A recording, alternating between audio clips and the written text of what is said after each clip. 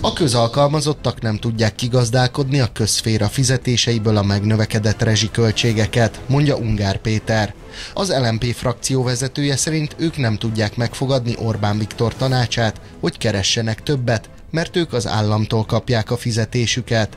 Vendégünk Ungár Péter.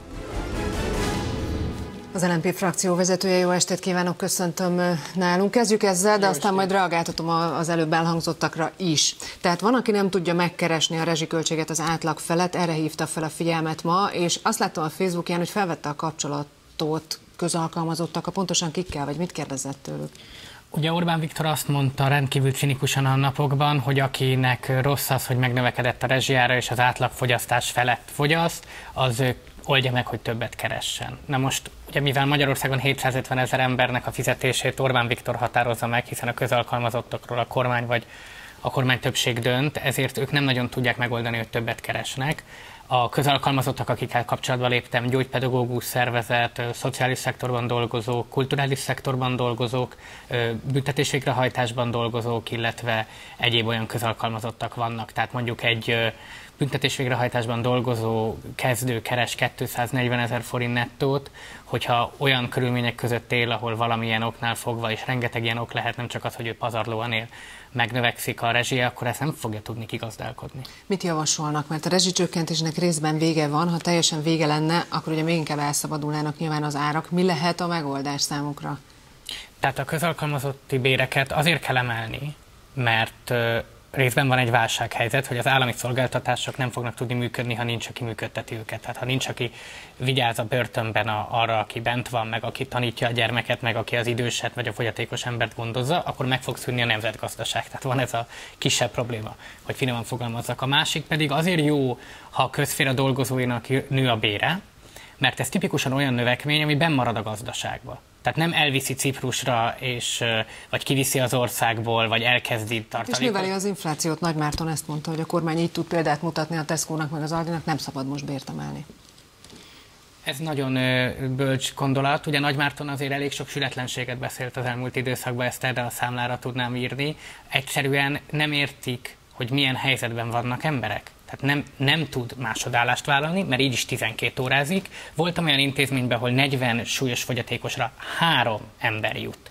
Ha ezekből az emberek közül egy elmegy, mert ezt a bérhelyzetet nem bírja, akkor én értem, hogy mit mond Nagy Márton a példamutatásról, de akkor megszűnik az állami ellátórendszer. Tehát jelenleg ez a, ez a helyzet, ahol most vagyunk. Tehát béremelés, Igen. most meg reklám, és aztán jövünk vissza és folytatjuk.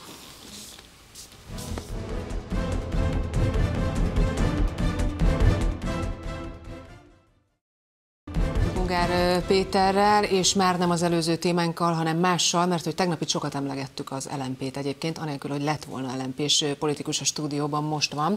A Szabad Európa Rádió tette fel a kérdést, hogy miért is alibiznek az ellenzéki pártok. Hát azért, mert ahogy írják, Rogánék megüzenhették az ellenzéki pártoknak, hogy ne használják ki a rezsinövelés miatti elégedetlenséget. Egy MSZP-s képviselőre hivatkoztak egyébként, na hát amiért az LMP szóba került, az hatházi Ákos volt, mert ő reagált erre, és ő azt mondta, hogy amikor ő pártelnök volt, 16 és 18 között, akkor bizony jött ö, egy megkeresés, ö, Rogán Antal volt a feladója, és egy akkor még nem országgyűlési képviselő adta át ezt az üzenetet. Ö, ki volt az? Én nem fogom semmilyen szinten kommentálni, vagy belemenni abba, amit Hatházi Ákos mondott. Én egy elnökségben voltam vele, és ez azt gondolom, hogy ez egy olyan bizalmi viszony, amit én nem fogok megszegni. És Akkor tudja, tettem. hogy ki volt? Tényleg erről az ügyről nem szeretnék beszélni, annyit azért a kérdés előző részére. Azt megértem, hogy nem szeretne beszélni, akkor egészen konkrétan rákérdezem, hogy, hogy nem besz... ön volt? A beszéd konszenzusos, tehát az ember arról, amiről nem szeretne, nagyon nehezen fog beszélni. Tehát van egy Viszont amit meg szeretnék kérdezni, ezt mindenképpen hát megkérdezni, megkérdezni. Ezért emlékszünk rá, Hende Csaba Fideszes politikus, kérdeztem is erről. Így van. Azt mondta őre, hogy ön egy trójai falu az Így ellenzékben, van. és hogy majd át fog állni, átállni nem állt, pont egy éve volt. Akkor ön volt, vagy nem ön volt? Tehát én nem fogok erről beszélni, azt viszont a Szabad Európa a kérdésnek az első felére hadd mondjam el, hogy először is ugye a műsor első felében arról beszéltem pont, hogy a közalkalmazottaknak milyen nehéz kigazdálkodni a megnövekedett rezsiárakat, és nagyon könnyű sokaknak azt mondani, hogy az ellenzék sikertelensége mögött különböző árulók meg ügynökök állnak, mert így nem kell elvégezni azt a gondolkodó munkát, hogy talán amit mondunk, azzal mi rossz van, hiszen mi mindent jól csinálunk, csak azok a sötétben bujkáló ellenforradalmárok elgáncsolnak minket az utolsó pillanatban, már Kifej Pétertel is hasonló dolgokat hallgattunk. Én azt gondolom, hogy egy ilyen választási szereplés után ez egy nagyon könnyű válasz egy nagyon nehéz problémára. Hát a kérdésemre nem, nem válaszoltam, tehát akkor azt, azt ami, a, ami elhangzott Hatázi Ákostól, azt megértettem, se nem, eh, ahogy szokták mondani, eh, se nem cáfolja, se nem erősíti meg. De akkor azt mondja, hogy az utóbbi hetekben az ellenzék mindent megtesz úgy, ahogy tud, és nem alibizik, és erején. Én nem tudom, hogy a többi ellenzéki párt mit csinál, nem látok bele mi mindent megteszünk, hogy látszódjunk. Ha nem sikerül, akkor az egy, nem egy akaratbeli, hanem egy egyéb probléma. Tényleg mindent megteszünk. Van egy kezde... és cselekedni azért az egy picit más, nem? Tehát, hogy például, csak mondok példákat, erről is volt ma már itt szó, miért nem tudták például megakadályozni, hogy a fizetéseket emeljék. Lengyelországban most hátrált meg a kormány ellenzéki tiltakozásra.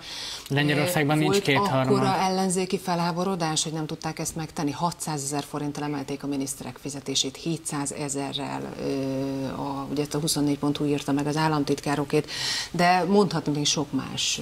Tehát most vagyunk a negyedik kétharmad után, Lengyelországban nincs, nincs kétharmad, Lengyelországban nagyon-nagyon az elnökválasztáson is rendkívül szoros különbség volt a két oldal között. Nem tudnám összehasonlítani ezt a helyzetet, és a helyzet az, hogy mi az LMP-ben azzal próbálunk cselekedni, hogy olyan javaslatokat nyújtunk, amik alternatívát mutatnak a magyar embereknek. Ilyen a klímabérlet javaslatunk például, ilyen az, hogy a közalkalmazottak bérét tegyék infláció követőbbé, de tudok mást is mondani, van egy öt pontos válaszunk arra, hogy mit lehetne tenni ezzel az energiaválsággal, de mondok egy olyan dolgot, amit éppen a szünetben Róna Péterrel beszélgettünk, hogy egyszerűen hogy lássák, hogy tényleg konkrétan gondolkodunk erről a helyzetről. Azért vagyunk ennyire kitéve az, ezzel, ennek az energetikai válságnak, ami a világban van mert orosz gázzal fűtjük a magyar utcákat. Nagyon-nagyon ritka az az ország, ami ennyire hatékonytalanul használja föl az energiát.